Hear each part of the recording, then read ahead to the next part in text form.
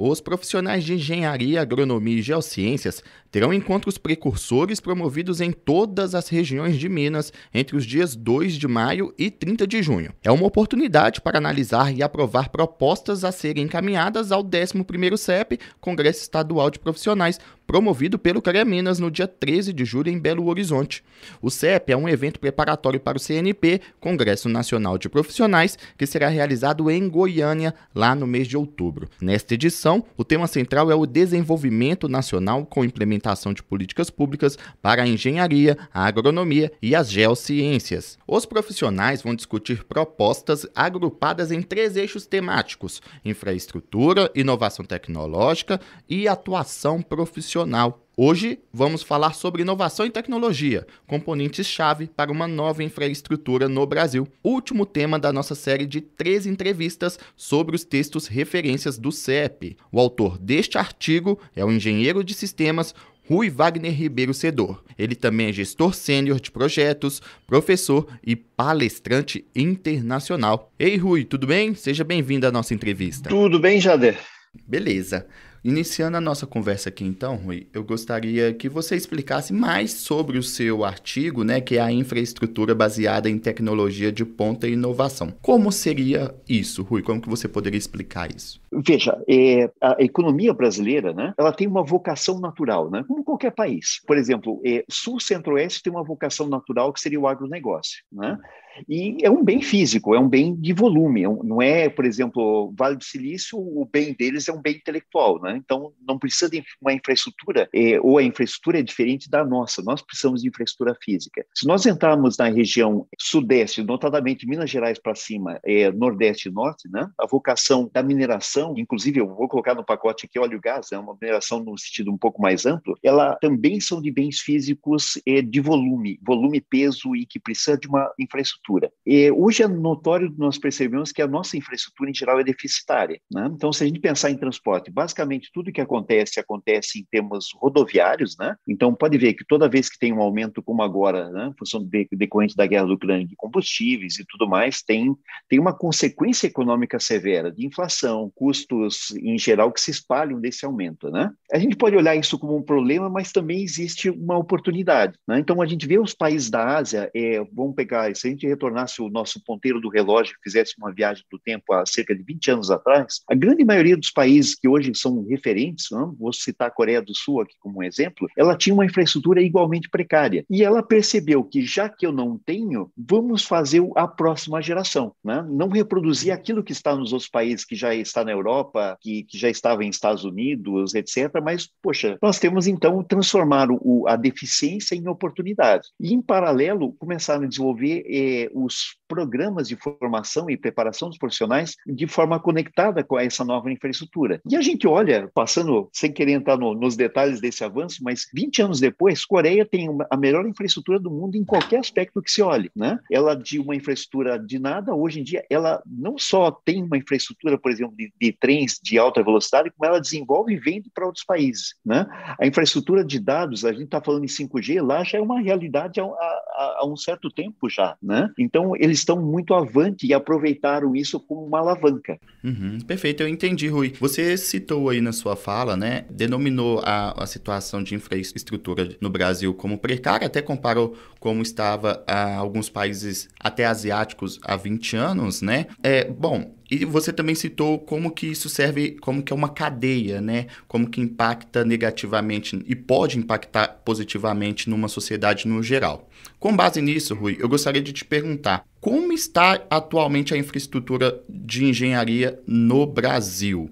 É, entra dentro dessas definições que você deu na sua fala anterior ou é um cenário um, um pouco diferente? É parecido com isso que nós falamos, né? Repare que todos esses conceitos estão ligados diretamente à engenharia, né? Então, por exemplo, o ponto de entrada e saída do país é um porto, né? Então, o porto hoje, é, para nós fazermos é, a situação atual, são deficiências de engenharia, né? Então, por exemplo, um porto ele tem uma baixa capacidade de receber um navio de porte, né? Vamos pensar, o nosso principal porto em termos de volume econômico é Santos, né? Santos não suporta um navio que tenha um calado, ou seja, a, a, é, o quanto ele afunda, né? Maior que 14 metros. O que significa que se nós queremos mandar uma carga para um determinado país, muitas vezes tem que chegar um navio pequeno até aqui, que tem que fazer um transbordo, uma troca, essa carga tem que trocar para entrar no navio grande em algum ponto no meio do caminho para depois ir lá. E isso vai sendo debitado do custo do produto, não? Então, veja que para resolvermos isso, nós temos que fazer um aprofundamento, quer dizer, permitir que navios maiores adentrem. E não é só isso, né? Então, veja que tem uma obra de engenharia de dragagem, né? De a, a fazer um aprofundamento. Veja que agora, num conceito de é, global, isso envolveria atitudes de sustentabilidade, de impacto ambiental, é, é, aonde fosse feita essa intervenção de forma a não criar uma visão problemática até do Brasil, que denigre né, o nosso produto e talvez o impeça, inclusive, de entrar em produtos. Então, veja outras obras de engenharia florestal, ambiental, marítima, derivadas disso. Precisamos trabalhar de um modo coeso e integrado para criar essa nova infraestrutura e viabilizando esse salto do país. Sinceramente, eu acho que se tem um momento do país, na nossa existência pelo menos, né, onde que a engenharia e os engenheiros se fazem muito necessários, eu diria que é agora, 2022, enfrentando Bom. esse desafio e puxando essa nova realidade de projeto. Uhum. Rui, bom, eu acho que mais do que uma provocação, dá para ver também que esse tema, é, dentro desse tema, você está citando algumas ideias de desenvolvimento, né? E aí eu gostaria de, desta vez, eu fazer a provocação para você. É, além das coisas que você citou, é, o que mais você, você acha que precisa, na sua visão, né, ser feito para que a modernidade chegue no nosso país, em solo brasileiro? Isso. Então eu vejo uma combinação: coisas e pessoas. Então vejo uma infraestrutura de engenharia é, aprimorada e pessoas que estejam, é, digamos assim, preparadas para tanto nos projetos, ou seja, na implementação disso, como também depois na futura operação. Então veja que uma infraestrutura moderna ela vai é, embutir a engenharia e a gestão baseada em dados. Pode ver que o engenheiro atual, ele, ele as tomadas de decisão, em geral, é feito com números, né? E esses números, poxa, são muito mais elaborados. Por exemplo, é o que eu falo, é, o custo de uma obra não, não é que não seja relevante, mas ele é uma das variáveis. Veja que o volume que vai transportar ali, o tempo de demora, por exemplo, eu vou fazer um tipo de obra é, que custe mais caro, mas que entregue mais rápido, pode ser mais barato. Porque o dinheiro que gera, né? Vamos pensar, eu, eu uso um, um tipo de construção que demoraria, vamos supor, três anos para fazer uma ferrovia, custando, vamos pensar, um bilhão. Poxa, você põe um tipo de tecnologia que é mais caro, vamos pensar que valesse, é, um, custasse um bilhão e meio, mas você entrega em dois anos. Se nesse um ano eu conseguir fluir né, economicamente é, é, produtos ali de forma que é, o, a receita seja maior que meio bilhão, compensa gastar mais. Né? Então veja que essa equação é muito mais elaborada. Né? Então vamos chamar assim, os engenheiros de hoje, né? eles precisam desses insumos, é, de uma conta mais requintada que se chama tipicamente de custo total. Né? Então, o desenvolvimento profissional dessa, dessa lógica de decisão técnica, econômica, precisa ser integrada. E, além do que, a, a, as vertentes da, da, engenharia precisam estar juntos para tomar a decisão. A gente falou de precariedade, a gente falou é, de necessidade de desenvolvimento, né? Você citou sobre algumas ideias para chegar à modernidade e qual é o papel, qual é a importância dentro disso da internet e das telecomunicações? A integração, né, sobretudo num país como o nosso, é fundamental. Então vamos pensar o seguinte, vamos pensar em eh, a interconexão aqui. Então na hora que eu consiga dizer, né, eh, olha, eu tenho uma necessidade de transporte de, de, tal produto em tal volume que requer tal cuidado. Vamos pensar um produto um pouco mais frágil, que tem que manter temperatura, né? algum, algum critério um pouco maior, não pode é, é, bater, não pode, sei lá, é, ser agitado, ou, né? ele tem lá as suas. Então, eu informo isso, né? Alguém, em função disso, determina, dessas informações, determina, poxa, isso tem que ser um, um, um trem, mas um trem refrigerado, um trem com amortecedor, né? desenha as características fundamentais e fazem essa troca de informações. Então, veja que tem três fluxos fundamentais que é o de dados, né, em primeiro lugar, ou seja, dessas informações que vão dizer eu tenho tal coisa, preciso tal coisa, eu confirmo que entendi, olha, essa é a minha sugestão, e que permita decisões sábias diante da, da, das necessidades. Né? Então, como nós falamos, é, quanto mais vai passando o tempo, as decisões se tornam mais complexas e, consequentemente, puxando um volume superior de dados. Então, a nossa capacidade é, de fluxo de dados é fundamental. Ô Rui, é... bom, eu acho que uma coisa interliga a outra, então pode parecer óbvio, mas para mim é importante te perguntar. E o setor de energia elétrica é fundamental para esse desenvolvimento também, não é? Como que você avalia a importância disso? Hoje em dia, cada vez mais a economia tem base elétrica, né? Nós temos um celular que precisa ser carregado, nós temos eh, uma infraestrutura na, no trabalho, na empresa, mais computadores, mais telas, mais um monte de coisa que é elétrica, né? Então, a confiabilidade, primeiro, a disponibilidade, nós precisamos gerar mais energia do que precisávamos para, vamos chamar assim, uma pessoa hoje em dia consome mais energia do que consumia há poucos anos atrás, então nós precisamos eh, ampliar a quantidade dessa geração de energia, né? Nós temos atividades econômicas no interior, que precisam de muita energia, mesmo onde não existe uma quantidade expressiva de moradores. Né? Então, a quantidade é fundamental de energia. E, além do que, a nova economia, né, ela está migrando para a elétrica. Veja, o carro elétrico. Então, uma série de coisas. Então, por exemplo, se vamos pensar que a gente optasse por fazer no Brasil todos os transportes movidos não mais a óleo e gás, né, mas a nível elétrico. Só nisso precisa dobrar a quantidade de energia a ser gerada. Né? Então, quantidade, qualidade, não pode ter apagão. Quanto mais eh, eu. Vamos pensar, um banco hoje que fica sem energia, para tudo. Não é só não ter a luz, né? não é só ter água gelada. Literalmente o banco para, né? Para os computadores, para tudo. Né? Então, a confiabilidade é fundamental ela não pode flutuar, não pode variar, né? não pode ter aquela luz que dá aquelas flutuações, isso queima o computador. Né? E ela não pode está indisponível. Eu tenho que ter a confiabilidade que sete dias por semana, a cada dia, nas 24 horas do dia, ela está lá sempre disponível para que eu possa inventar aquilo que eu precise dela, né?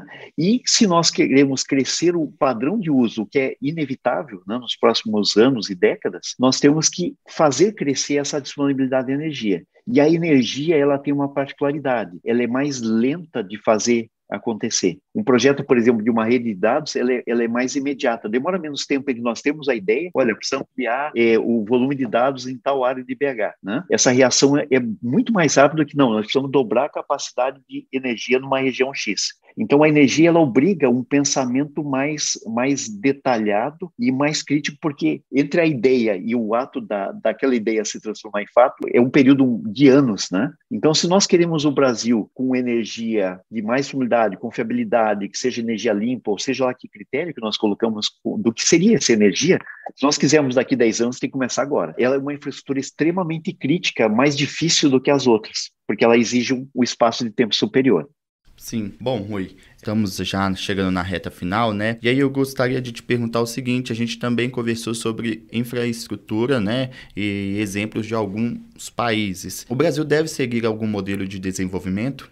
Eu diria que sim, mas nunca numa linha absoluta, ou seja, copia e cola. Eu falei Coreia do Sul, pegar Copa é o que foi aplicado na Coreia, porque nós temos nossas particularidades, né? Mas é importante, o que eu faria é pegar vários países referentes, então pega alguém da Ásia, por exemplo, uma Coreia do Sul, pega na Europa uma Alemanha, Holanda, que são países referentes, Estados Unidos, Canadá aqui na América, Pega esses países e vê onde o Brasil é parecido com eles, onde o Brasil é diferente deles. O, o jogo do sábio é, é, é, não reinventar a roda. Né? Então, aproveite esses planos e dá o tempero brasileiro, o tempero com as nossas características. Nós podemos fazer um lego bacana de juntar isso de vários países pegar o melhor de cada um, né? observando o que deu certo, o que deu de errado, o que precisaria, e adaptando, por consequência, esse Lego com a nossa realidade local, de um país de alta dimensão, uma realidade econômica mais limitada do que uma Alemanha, do que os Estados Unidos, né? então a gente tem que ser mais certeiro, tem que dar o balanço, vamos chamar assim, dentro do nosso poder de fogo econômico.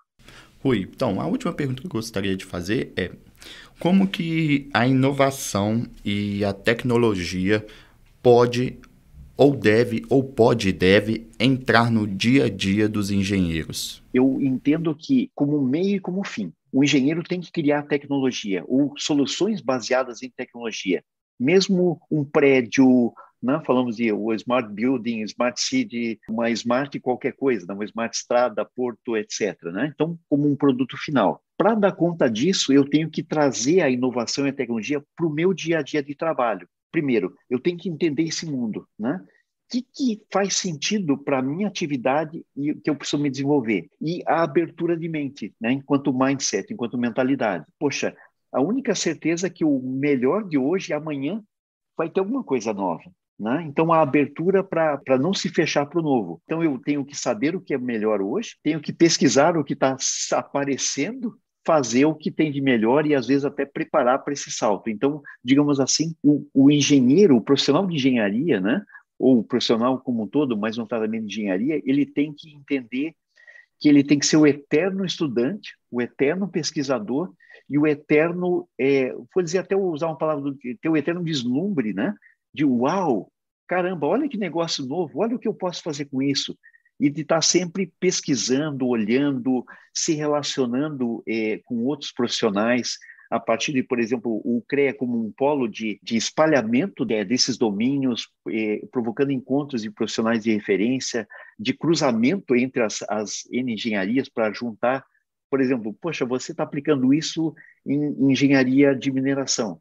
Opa, esse negócio aqui, eu não sou engenheiro de mineração, mas isso aqui eu posso aplicar na construção do meu prédio. Isso eu posso aplicar naquele eh, bairro que eu estou planejando eh, eh, aqui. Né? Isso eu posso aplicar nessa minha ferrovia, porque esse conceito, essa técnica faz sentido aqui. Né? É, seja aberto, tentando agora resumir numa frase, seja aberto à tecnologia, seja aberto ao novo e crie em cima disso. Né? E saiba aproveitar esses conceitos que vêm mesmo de fora, de outras áreas que não a nossa de origem. Perfeito, Rui. Olha, eu gostaria de te agradecer, né? Muito obrigado por essa conversa, por essa entrevista, pelos esclarecimentos, por esse bate-papo cheio de riqueza, viu, Rui? Muito obrigado mesmo. Certo, não, é um prazer. A única, eu digo, a única coisa é vamos juntar forças para fazer um país melhor para nós todos, né? De norte a sul, de leste a oeste. Isso, juntos somos muito mais fortes. Tchau, tchau. Pois bem, então você aí participe, viu? O formulário online para o envio de proposta pode ser preenchido no site crea-mg .org.br barra CEP 11CNP. É muito importante a participação de todos os profissionais. No dia 13 de julho, durante a etapa estadual do CEP, os delegados eleitos nos encontros precursores vão discutir e votar as propostas construídas nos eventos realizados em diversas cidades do estado. As propostas aprovadas serão encaminhadas para o CNP, que ocorre de 6 a 8 de outubro em Goiânia.